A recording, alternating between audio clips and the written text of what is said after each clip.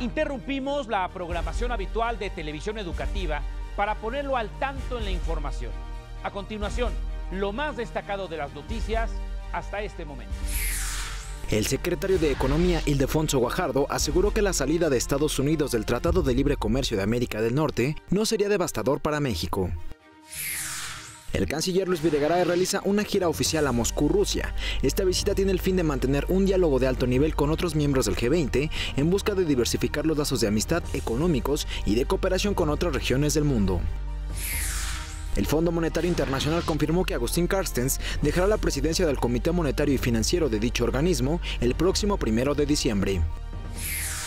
El presidente Enrique Peña Nieto promulgó este jueves la Ley General sobre Desaparición Forzada de Personas y de Desaparición Cometida por Particulares, que establece una pena máxima de hasta 60 años a servidores públicos que priven de la libertad a una persona.